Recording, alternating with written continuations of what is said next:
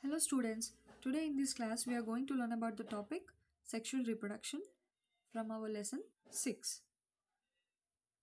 So let's have a quick look at what we are going to talk. We are going to talk about fusion of male and female gametes and the male reproductive organs and the sperm, female reproductive organs and the egg. So fusion of male and female gametes is nothing but fusion of male gamete that is sperm with the female gamete that is ovum or egg to form a zygote. And what are the reproductive organs involved in sexual reproduction? These are the male reproductive organs involved that is testis, sperm and penis. This is the sperm and this is the structure of sperm. We are also going to talk about the female reproductive organs involved in sexual reproduction that is the uterus, ovary and the oviduct. And this is the egg which has a nucleus. This is the female gamete and is also called as ovum. Now let us begin our class.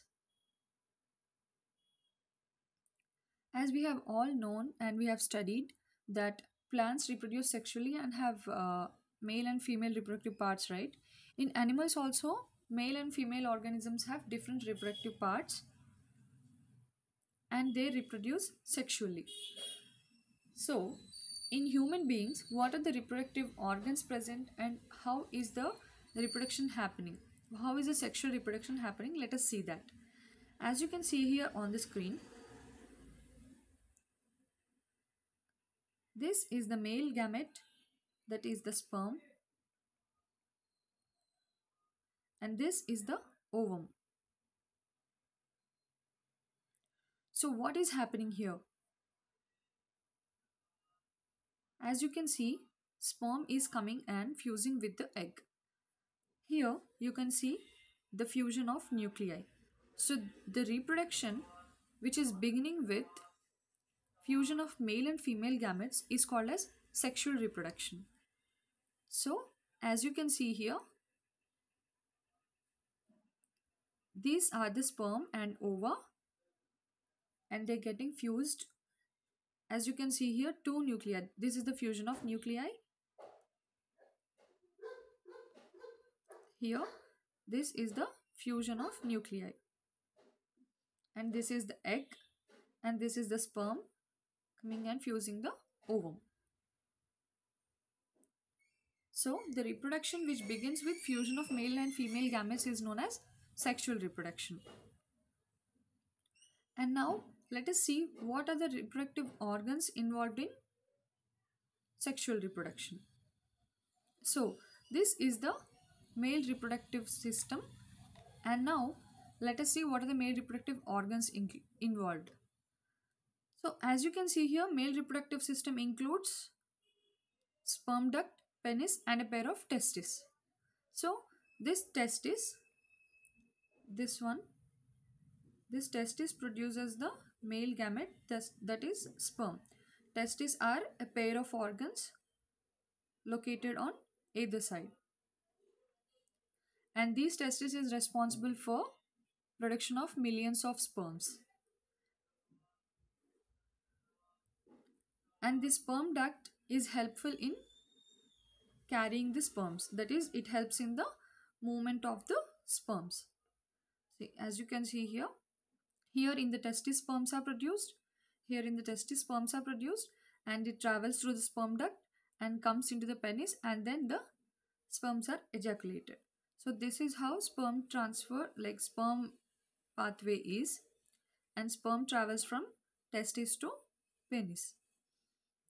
So this is how the male reproductive system looks like and these are the male reproductive organs. This is the penis, this is the sperm duct and these are the testes the white color ones which you are seeing these are the testes okay? And let's move to the male gamete that is the sperm. So this is the human sperm and it is just a sing single cell but it appears to be having like a head middle piece and tail right? So this part is the head and this is the middle piece and this tail so, tail of the sperm helps in locomotion. That, that is, it promotes in easy movement. it helps the sperm to swim basically and sperm as you can see this is just a single cell with all the usual cell components so this is how a sperm looks like and this is the head and the middle piece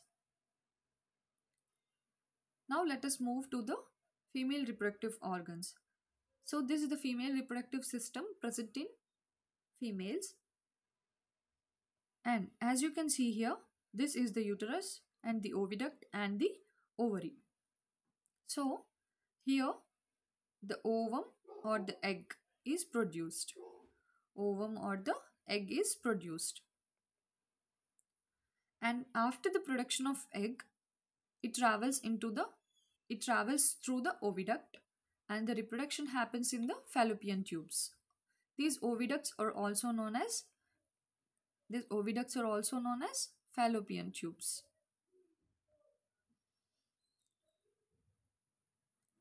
So the female reproductive organs as you can see here are the ovaries, oviducts and the uterus.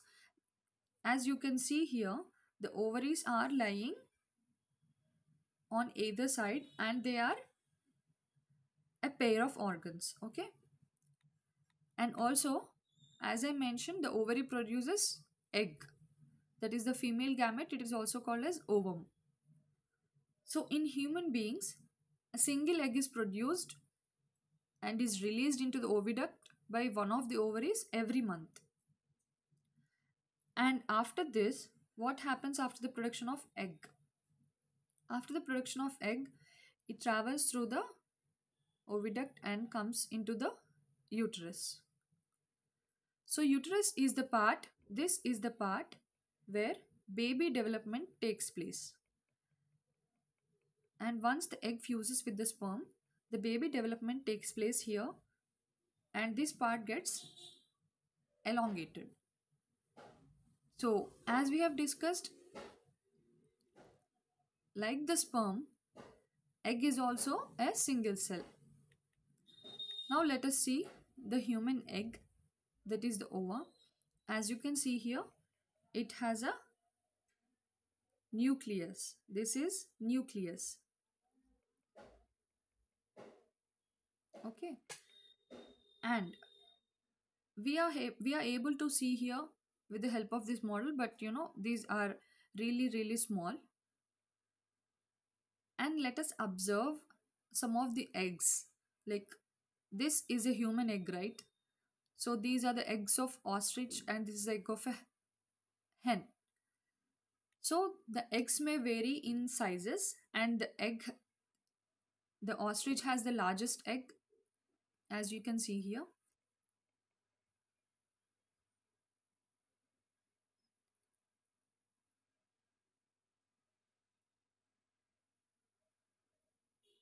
And this female reproductive organs in male and female are located in the abdominal region.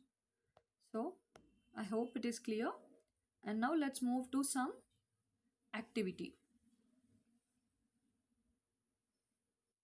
That is we have our brain buster. So let us see how much you all have understood. So what is the male gamete called in humans? We have discussed that and yes it is called as sperm. And which of the following is not a part of male reproductive system? Is it the testis or the sperm duct or the ovary? Yeah, it is easily identifiable. That is the ovary. Ovary is present in female reproductive system and each ovary releases an egg.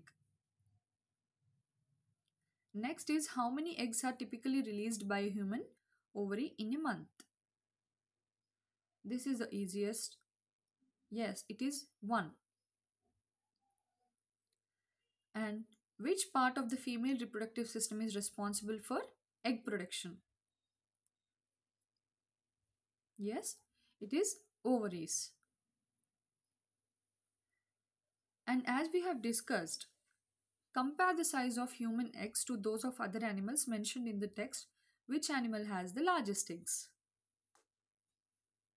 Is it human, hen ostrich or fish? Yes, it is ostrich as we have seen in our model. And which part of the female reproductive system does the development development of the baby takes place? Yes, it is the uterus.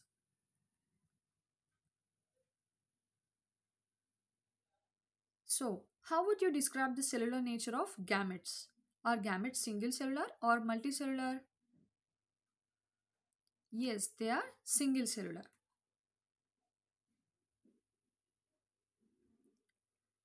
And if a scientist wanted to study an human egg cell, which organ should they examine?